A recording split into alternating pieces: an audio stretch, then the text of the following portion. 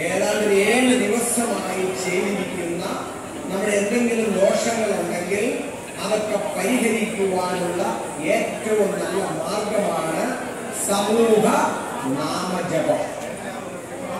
അവിടെ നിന്ന സമയത്ത് നാല് പേരാ നാമം ജപിക്കുന്നതുള്ളൂ നല്ല താളത്തിൽ ജപിക്കുന്നുണ്ട്.